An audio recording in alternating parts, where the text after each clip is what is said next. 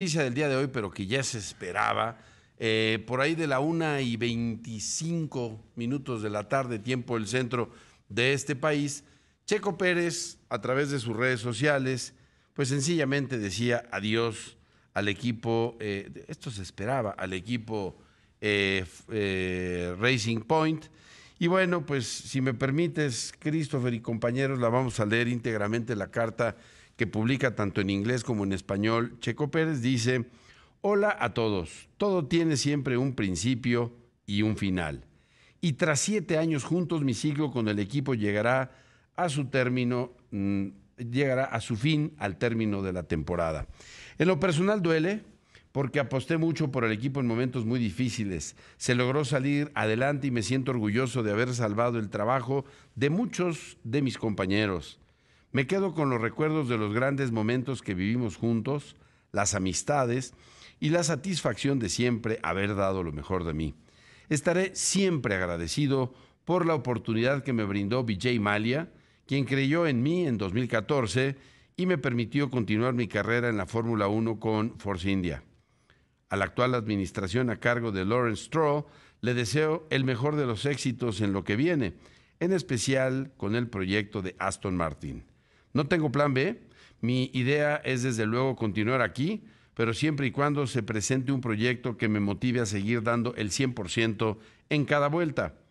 Agradezco a cada uno de ustedes que han estado conmigo a lo largo de estos 10 años, a mi familia que siempre ha estado presente apoyándome en las buenas y en las malas, a todos los patrocinadores que han creído en mi proyecto, a mi staff y principalmente a Dios, que me bendijo con la oportunidad de vivir esta increíble aventura llamada F1. Espero pronto darles buenas noticias y por ahora disfrutemos juntos de estas próximas carreras. Los llevo conmigo, firma Checo Pérez. ¿Qué, qué te dice mi estimado Christopher? Noto, pues, tristeza, lógica, pero noto también un poquito de, de rencor con el señor Lawrence Stroll, con el que es muy decente, pero no, no hay una muestra de algún cariño, de algún tema cálido. Sí, sí, con esta transición Sahara Force India y ahora que lo toman los Stroll, Pablo, yo creo que eh, este equipo que de alguna manera es joven, eh, insisto, con otros dirigentes, teniendo a Checo Pérez como piloto, yo creo que le tienen que agradecer mucho, Pablo. Le tienen que agradecer mucho por lo que eh, ha venido haciendo en las últimas, por lo menos dos o tres temporadas. Pero mira, sobre Siempre todo. zona de puntos. Sí, eso, eso no hay duda, pero sobre todo parece, bueno, eso, eso no cuenta, ¿no?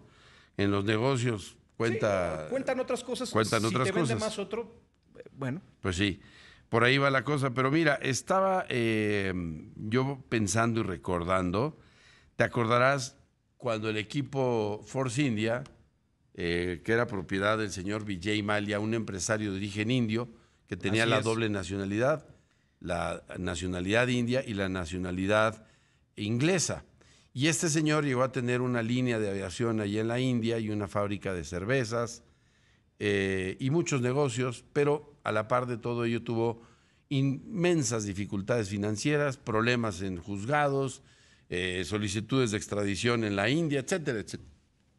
Él decía que todo era un problema político allá en la India. Finalmente tiene el equipo va a la quiebra y Checo Pérez hace una jugada con sus abogados haciendo una, porque a Checo le debían comisiones, le debían sueldo, demanda al equipo para que éste pueda subsistir a través de un proceso de quiebra en el que el gobierno inglés asume la administración y mantiene en marcha este, este equipo, de lo contrario hubieran tenido que echar candado, se cerraba y eso hoy parece no ser tomado en cuenta. Bueno, se va Checo Pérez de eh, la escudería del señor Lance Stroll, Aston Martin, el futuro Racing Point en este momento.